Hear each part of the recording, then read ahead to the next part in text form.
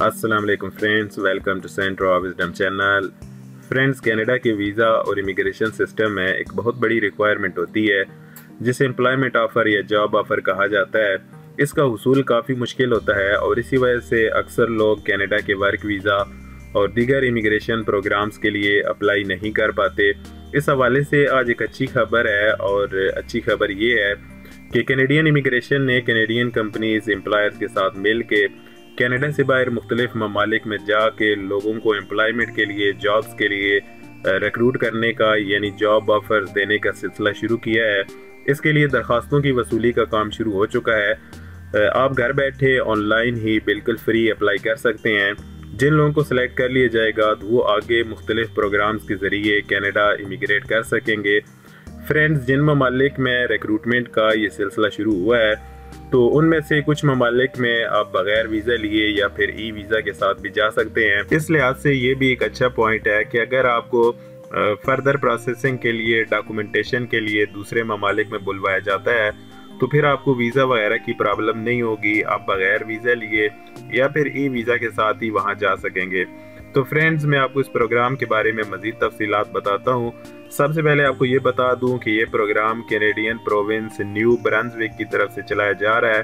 New Brunswick immigration اور وہاں کے جو امپلائرز ہیں، وہ مختلف ممالک میں جاتے ہیں، وہاں پہ جاب فیئرز منعقد کرتے ہیں، وہاں پہ لوگوں کو جابز وغیرہ کے لیے سلیکٹ کرتے ہیں۔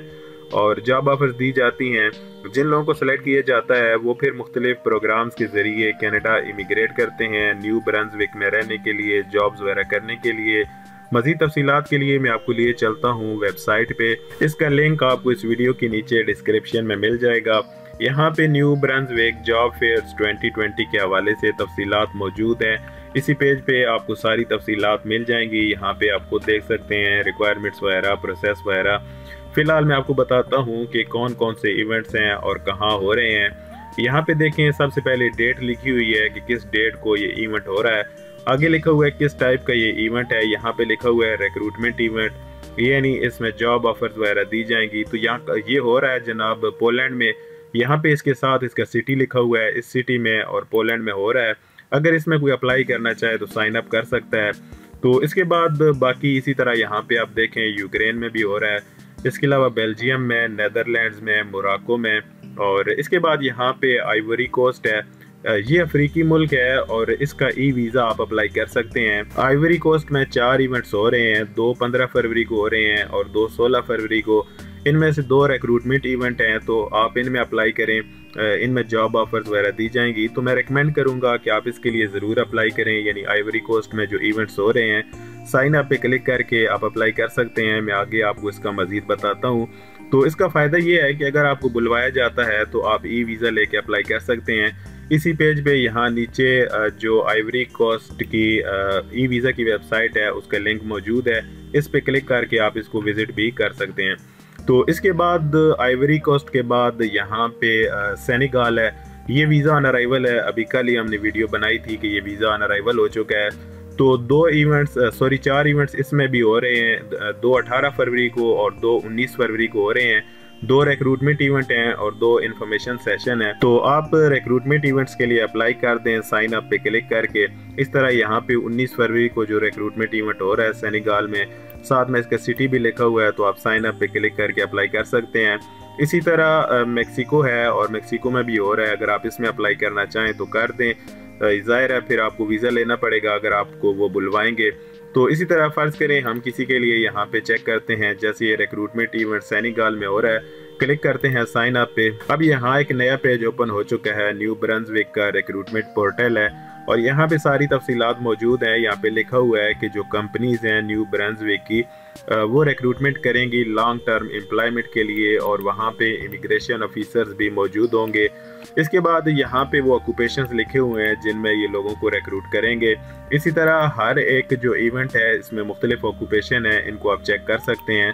اور اس کے بعد یہاں پہ چیزیں جو آپ کو چاہیے ہوں گی اپلائی کرنے کے دوران وہ آپ یہاں پہ دیکھ سکتے ہیں۔ تو فائنلی آپ اپلائی کرنا چاہیں تو یہاں پہ آپ اپلائی کر سکیں گے، اپنا فرسٹ نیم ساری تفصیلات یہاں پہ انٹر کریں گے۔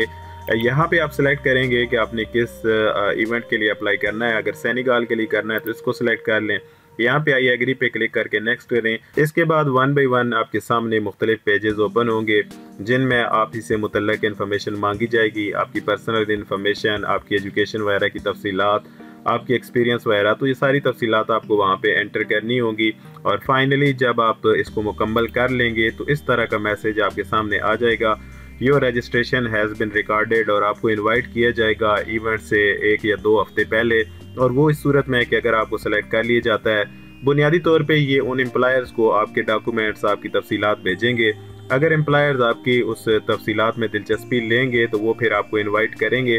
تو پھر آپ کو اس ایونٹ میں جانا ہوگا اپنے تمام تر اوریجنل ڈاکومنٹس کے ساتھ۔ اس انویٹیشن کا مطلب ہرگز یہ نہیں ہے کہ آپ کو ویزا کے لیے سلیکٹ کر لیا گیا ہے، بلکہ یہ صرف ایونٹ میں شرکت کرنے کے لیے انویٹیشن ہوگا۔ وہاں جا کے آپ اپنے ڈاکومنٹس پیش کریں گے، آپ کے ڈاکومنٹس چیک کیے جائیں گے، آپ کا انٹرویو وغیرہ ہوگا۔ اور فائنلی پھر وہاں پہ کینڈیڈیٹس کو سلیکٹ کیا جائے گا ریکروٹ کیا جائے گا۔ جن کو ریکروٹ کر لیا جائے گا یا سلیکٹ کر لیا جائے گا، تو ان کو بتایا جائے گا کہ آپ کو کس پروگرام کے لیے سلیکٹ کیا جا رہا ہے۔ جیسے اٹلانٹک امیگریشن پائلٹ پروگرام ہے پروونشل نومینی ہے ایکسپریس انٹری وغیرہ۔ تو یہ ساری تفصیلات وہ خود ہی بتا دیں گے۔ تو فری پروگرام ہے، آپ ضرور اپلائی کریں۔ یہاں پہ کافی دوست آئلس کا پوچھیں گے، تو اس پروگرام میں آئلس لازمی ہے۔ اس کے علاوہ ای سی اے یعنی ایجوکیشن کی اسیسمنٹ بھی آپ کو کروانی ہوگی۔ باقی جو تفصیلات ہیں ریکوائرمنٹس کی، وہ آپ یہاں پہ خود بھی دیکھ سکتے ہیں۔ ساری تفصیلات اسی پیج پہ موجود ہیں۔